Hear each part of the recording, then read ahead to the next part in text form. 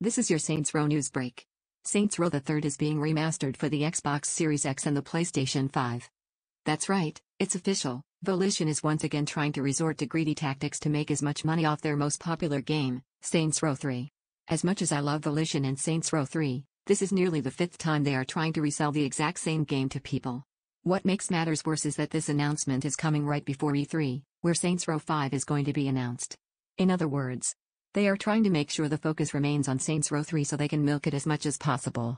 You can expect a remaster for Saints Row 5 in a year, and then a DLC bundle a year after that. Basically they will be selling you the same game over and over again for years. We already know Saints Row 5 will be an Epic Store exclusive, and now with this news, I am saddened to say the public opinion of Volition is now lower than ever. Will they restore their reputation next month at E3?